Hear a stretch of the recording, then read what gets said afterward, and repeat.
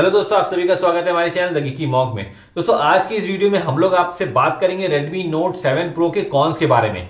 और भाई ये बोलता हुआ काफ़ी ज़्यादा यहाँ पे हस्यास्पद लगता होगा कि मैं कुछ मज़ाक कर रहा हूँ कि भाई Redmi Note 7 Pro के अंदर इतनी कम जो है प्राइस के अंदर आपको इतनी अच्छी स्पेसिफिकेशन मिल जाती है। तो और क्या चाहिए? लेकिन दोस्तों, उसमें कुछ ऐसे अननोन कॉन्स हैं जो कि मुझे लगता है कि अगर आप अपना पैसा कहीं पे इन्वेस्ट कर रहे हैं तो उसके प्रोज के साथ में आपको उसके कॉन्स भी जान लेना बहुत ज़्यादा ज़रूरी है। एंड बिलीव मी आज मैं जो कॉन्स आपको बताऊँगा, उनमें से कई ऐसे कॉन्स होंगे, जिनके बारे में आपने सोचा भी नहीं होगा या उसके बारे में सुना भी नहीं होगा।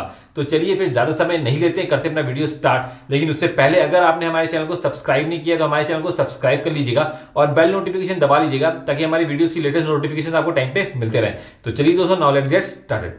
सबसे पहले मैं आपको एक चीज़ बताना चाहूँगा कि जब मैं Redmi Note 7 Pro के कॉन्स के बारे में मैं रिसर्च कर रहा था, पहली बात मुझे बहुत सारी चीज़ें थी जो मुझे मिली ही नहीं। क्योंकि Redmi Note 7 Pro के बारे में सबने अच्छा ही बताई है। Redmi Note 7 Pro के कॉन्स के बारे में किसी ने कुछ नहीं बताया। तो दोस्तों, मैंने एक वीडियो देखी जिसके अंदर उन्होंने बताया कि ये पर्टिकुलर डिवाइस जो है वो कैरियर एग्रीगेशन को सपोर्ट नहीं करता है। तो भाई, सबसे पहले मैं यहाँ पे आपको बता दूँ कि जो भाई कैरियर एग्रीगेशन होता क्या है? दोस्तों कैरियर एग्रीगेशन का मतलब ये है कि जब आप इंटरनेट अपना यूज़ करते हैं तो जैसे पोको एफ़ में कैरियर एग्रीगेशन का सपोर्ट मिला हुआ है तो उसके अंदर क्या होता है कि उसके अंदर ज़्यादा बेटर आपको इंटरनेट स्पीड मिलती है। मतलब कि इसको आप समझ लें, जो भी डिवाइस 4G प्लस को सपोर्ट करता है, उसके अंदर ज़्यादातर आपको कैरियर एग्रीगेशन देखने को मिल जाता है। ठीक है?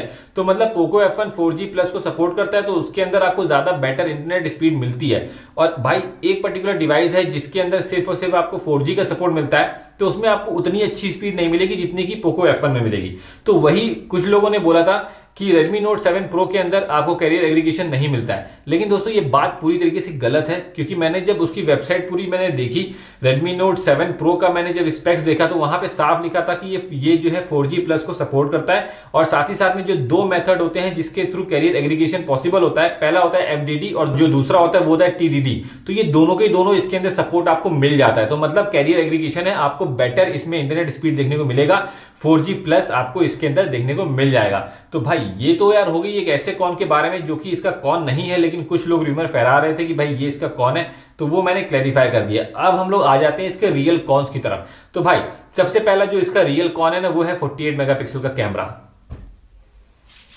जी हाँ दोस्तों 48 मेगापिक्सल का कैमरा अब आप लोग सोच रहे होंगे कि भाई 48 मेगापिक्सल का तो कैमरा जो है, इसकी अच्छाई है, इसका प्रोज है तो भाई ये कौन कैसे हो गया? दोस्तों, वो कौन ऐसे एक्चुअल में हुआ कि जो इनका प्रोसेसर है स्नैपड्रैगन 675 वो 48 मेगापिक्सल के कैमरे को सपोर्ट तो करता है सिर्फ़ और सिर्फ़ स्नैपशॉट के लिए। जी हाँ दोस्तों, सिर्फ़ और सिर्फ़ स्नैपशॉट के लिए। मतलब कि आप उसके ऊपर कोई भी आर्टिफिशियल इंटेलिजेंस का यूज़ करके ना ही आप उसमें कोई पोर्ट्रेट मोड में ले सकते हैं फ़ोटो ना ही आप कोई फ़िल्टर लगा सकते हैं, उसमें एआई का कोई भी यूज़ आप नहीं कर सकते। नॉर्मल आपको एक स्नैपशॉट एक रॉ इमेज मिलेगी फोर्टी मेगापिक्सल वाले कैमरे की।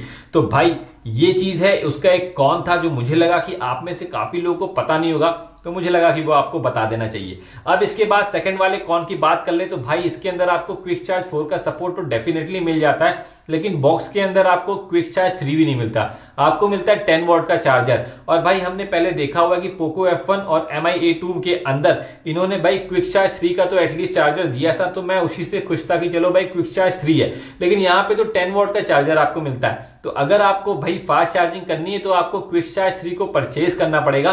या फिर आप क्विक चार्ज फोर को परचेज कर लें ऑनलाइन, लेकिन भाई वो जल्दी अवेलेबल नहीं होता तो उसकी भी एक प्रॉब्लम रहेगी। तो अब अगर हम लोग इसके तीसरे कौन की बात कर लें तो दोस्तों वो है उसका एम आई यू आई के एड्स जी हाँ दोस्तों, जब आप स्मार्टफ़ोन को परचेज करेंगे और आप यूज़ करेंगे ना, और बीच बीच में कभी कभी अगर वो ना रैंडम तरीके से आपको एड्स दिखाएगा तो कितना फ्रस्ट्रेशन होता है। आप सोच के देखिए, आपको किसी को अर्जेंटली कॉल करना है और आप कॉल करने के लिए दबाने जा रहे हो, पता चला कि किसी भी पर्टिकुलर ऐप जैसे कि ना म्यूजिकली हो गया या फिर किसी का भी एक एड वहाँ पे शो जो है करने लगा। आप उसको कट कर रहे हो, जल्दी कट ही नहीं हो रहा। कितना ज़्यादा ये फ्रस्ट्रेटिंग होता होगा, नहीं? तो भाई, हालाँकि अभी इन्होंने एक और फीचर दिया हुआ है, जिससे कि आप उसको डिसेबल कर सकते हैं, लेकिन मोस्टली लोगों को नहीं पता है कि कैसे डिसेबल होता है। और ज़्यादातर जगहों से पूरी तरीके से डिसेबल भी नहीं होता है। ठीक है? तो ये जो लोगों का कहना है कि पूरी तरीके से डिसेबल हो जाता है तो ये पूरी तरीके से डिसेबल नहीं होगा, लेकिन हाँ ये अप्रोक्सीमेटली 90 परसेंट तो डिसेबल हो ही जाता है। तो वो कैसे करना है? तो जब मैं डिवाइस परचेज करूँगा, तब आपको बता दूँगा कि एम आई यू आई के एड्स आपको कैसे डिसेबल करने हैं। लेकिन तब तक के लिए तो भाई ये कौन है ही है इसका। क्यों? अब इसके बाद दोस्तों, अगर हम लोग नेक्स्ट वाले कौन की तरफ़ चलें तो वो है इसका जेनेटिक जो है कौन आप मान सकते हैं, वो है इसका हाइब्रिड सिम स्लॉट जो इसके पूर्वज थे, वो इसी जो है कौन के साथ में पैदा होते आ रहे हैं। चाहे आप उसमें Redmi Note 3 देख लें, चाहे आप Redmi Note 4 देख लें, चाहे आप Redmi Note 5 देख लें, चाहे आप Redmi Note 6 देख लें या 6 Pro देख लें या 5 Pro देख लें, सब में ये आपको प्रॉब्लम मिलती थी तो ये कैसे छोड़ सकता था? तो इसमें भी है हाइब्रिड सिम स्लॉट और इसके अंदर भी आप या तो दो सिम यूज़ कर लें या तो एक सिम और एक मेमोरी कार्ड। हालाँकि दूसरे तरीके भी हैं जिससे कि आप हाइब्रिड सिम स्लॉट के अंदर मेमोरी कार्ड और सिम कार्ड दोनों ही यूज़ कर सकते हैं और उसके लिए मैंने एक वीडियो भी बनाई थी कि कैसे आप उसमें जो भी यार हाइब्रिड सिम स्लॉट होते हैं उसके अंदर कैसे आप दो सिम और एक मेमोरी कार्ड यूज़ करें। तो अगर आप लोगों ने देखी नहीं हो तो वो जाके आप देख सकते हैं। मैं लिंक उसका डिस्क्रिप्शन में दे दूँगा। और फ़िलहाल के लिए भाई, ये तो एक कौन है ही है, ठीक है? तो दोस्तों, अब अगर हम लोग इसके अगले वाले कौन की बात कर लें तो दोस्तों इसके अगले वाले कौन के हिसाब से आपको अगर चौसठ जीबी वाला वेरिएंट परचेज करना है तो उसके अंदर सिर्फ़ और सिर्फ़ आप फिफ्टी वन जीबी के आसपास आपको मेमोरी मिलेगी यूज़ करने के लिए। बाकी सब ऑक्यूपाइड है, बाकी सब प्री ऑक्यूपाइड है। तो मतलब कि भाई, इसके अंदर आपको चौसठ जीबी परचेज करेंगे तो सिर्फ़ और सिर्फ़ फिफ्टी वन जीबी मिलेगा। तो भाई मुझे लगता है कि वो थोड़ा सा बहुत कम हो गया। क्योंकि कम से कम या कम से कम पचपन जीबी या फिर कम से कम साठ जीबी तक दे देते, तब भी यार बढ़िया था। लेकिन ये तो यार एकदम ही कम ही कर दिया इसने। फिफ्टी वन जीबी बहुत कम हो गया, ठीक है?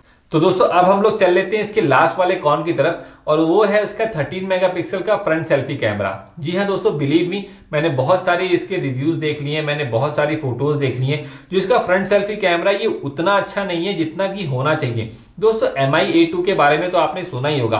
उसका जो कैमरा था कितना बेहतरीन था।